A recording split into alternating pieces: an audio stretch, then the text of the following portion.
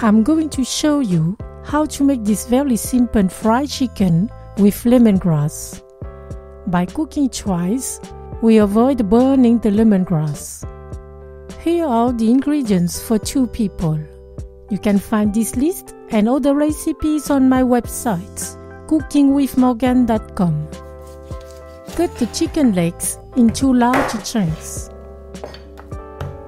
Put them in a mixing bowl. Add a half teaspoon of salt. Mix them well. Cover and let rest for 1 hour in the fridge. Finely mince the lemongrass. Remove the small end, the first leaf, and the end of the stem that are hard.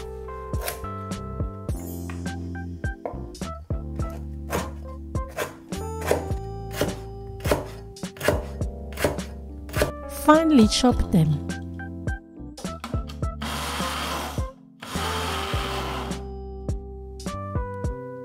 Cut the cilantro into sections.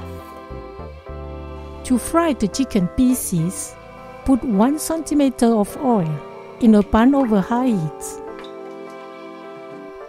When the oil is hot, put the chicken pieces. Let them brown 4 minutes each side.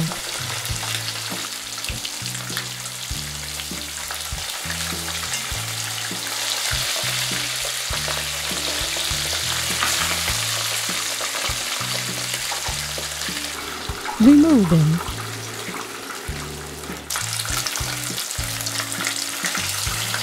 Still in a pan over high heat, put 1 tablespoon of oil.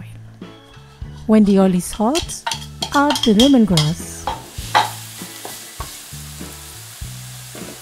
the sugar, half teaspoon of salt, the ground pepper, stir for 20 seconds.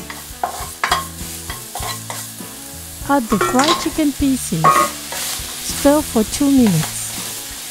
The flavor of lemongrass is enhanced during the cooking. The chopped lemongrass sticks to the chicken pieces.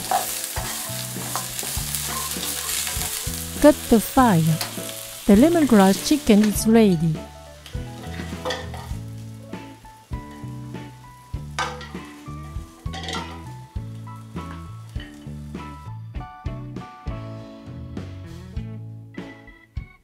Enjoy it with jasmine rice. Bon appétit!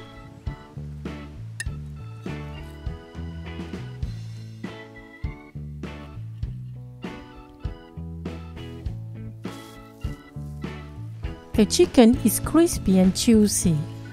If you can taste the fried chicken and the lemongrass at the same time, the dish is a successful.